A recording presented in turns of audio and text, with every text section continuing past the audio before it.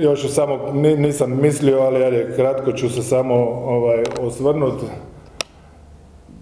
Pa, te, teško mi je stvarno o tome govoriti. Ovaj, cijeli svoj život sam proživio uz koškaški klub Cibona. Eh, ja sam igrao u mlađim kategorijama, moj sin je igrao 8 godina u Ciboni. Eh, redoviti pratitelj sam tamo negdje od 76. 7. godine. Srce mi se slama kad vidim ovo što se dešava sa našim dvostrukim prvakom Europe, dvostrukim osvajača kupa kupova, osvajača kupa Radiva Korača, dvadesetak, evo sad 20. kruglo prvenstvo je osvojeno sad neki dan i kup, a sutra, nažalost, će i službeno Cibona stupiti u stečaj nakon 60 godina blokade prema zakonu.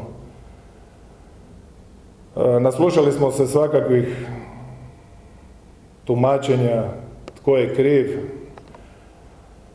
Mislim da je ovo ova agonija Cibone traje već dulje od 20 godina.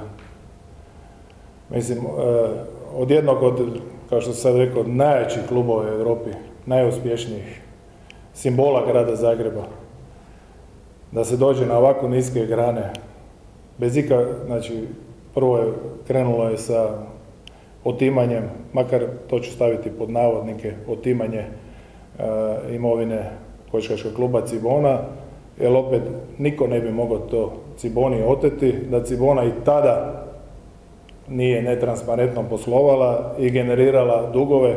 Znači 20 godina, minimalno 20, ajde sad ćemo ostati na 20, a i dulje, katastrofalno i na kriminalan način se vodi ovaj naš simbol grada Zagreba. Nemo, bez obzira što sam u oporbi, ja sam na kraju krajeva i apelirao sam i na gradonačelnika ono prije mjesec, dva, kad je bilo u najavi da će se zabraniti Ciboni da igra u svojoj dvorani praktički i tada sam apelirao na gradonačelnika da, da ipak smogne snage i da se pomogne ovom našem klubu, simbolu grada, ali ovaj, bilo, bi, bilo bi stvarno, pa ja bih rekao i, bezobrazno sad svaljivati sve na leđa i samo sadašnjem gradonačelniku, kao što sam rekao, 20 godina se katastrofalno upravlja našim klubom. dugovi su, znači nisu sad, sad je 5 milijuna ovaj, eura, navodno, mislim, na kraju krajeva ni nemamo te podatke. Evo, danas je u podne, vjerujem da će neki od vas prisustvovati, presica je i legendne kluba dvogodišnjeg i kapitena i direktora i trenera Ace Petrovića sa jednom od ideja za spas kluba.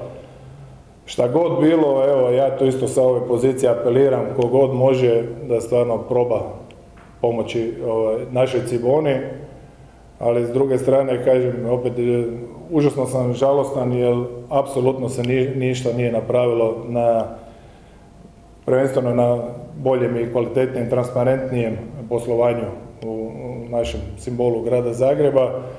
I bojim se da na kraju krajeva i samom uređenju, znači kao udruga građana, vrlo je, vrlo je upitno na koji način se može to dokapitalizirati, odnosno na ovaj način kako je, kao što sam rekao i naša legenda kluba predložila, e, trebalo bi praktički privatizirati klub i promijeniti statut i tako dalje, ali sad ne bi ulazio u to, nego ovaj, evo, još jedno apeliram, evo, ako, ako je ikako moguće, na kraju krajeva i većina vjerovnika se izjasnila, jedan od većih vjerovnika i nogometni klub Dinamo, je, grad Zagreb, e, Zagrebački športski savez, evo i tajnik e, Zagrebačkog športskog saveza, e, svi su praktički rekli da će pružiti potporu koliko je u njihovoj moći.